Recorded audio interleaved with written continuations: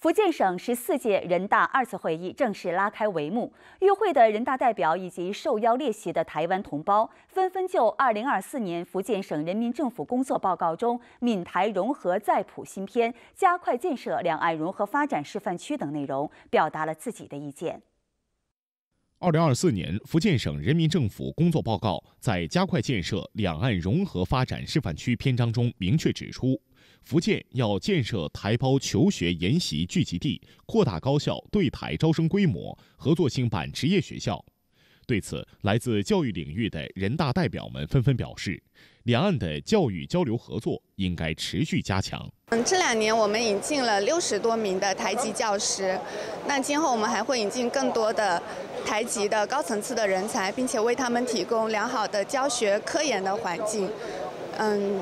今后我们也将与台湾更多的优质的高校合作。我想，两岸未来可以在教师的互派、学生的互访上面做更多的嗯事情。我们也将邀请更多的台籍青年来大陆，让他们更多的了解大陆的。发展在两岸融合发展这一块，我们希望说可以推动一所海峡大学的成立，用一所大学的平台来推动两岸教育交流和与合作。那我们也非常欢迎台湾学生能够来大陆选择合适他们的高校、合适他们的专业啊。同时，我也希望我们福建的这些本土的高校能够未来在两岸这个共同办学上面能够在全国做出示范。此外，报告在常来常往、促进情感融合方面提出，要促进文化交流更加活跃，加强闽台历史文化等研究，也让来自莆田和泉州的人大代表们深有感触。那莆田是妈祖的故乡，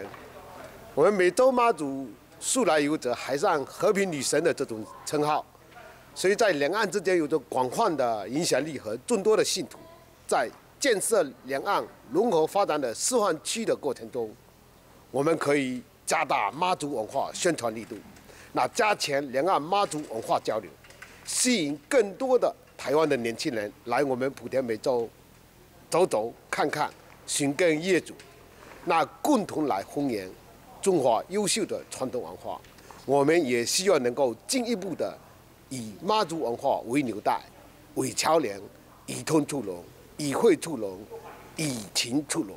我们有一个闽台园博物馆，我们从小孩子啊，从那个学校的小孩子，我们每年必必须的一个研学，就是在闽台园博物馆里面去，从小就培育这种两岸的这种文化的一个交流，我觉得是也是非常重要的。特别是我们泉州惠安有一个青山王的这个，呃，这这个文化交流非常，它就是从这个民间凝聚的这种人心，这种情愫。这种台胞的这种，我觉得说这种感情也是很有一个很牢固的基础。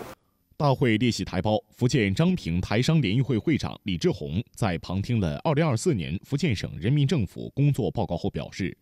报告在优化涉台营商环境、深化闽台产业融合、提档升级台湾农民创业园、闽台农业如何发展产业园、促进闽台经贸合作提质增效部分，让台商们信心十足。那对台商的立场来讲啊，它是等于营造一个宽松的经营环境啊，营商环境，让所有台商都可以安心的投入全力的发展。所以我们认为，对我们未来事业体的发展是向好的，是充满信心。所以我们非常感谢政府的作为，省长的报告让我们充满信心，让我们对福建充满信心。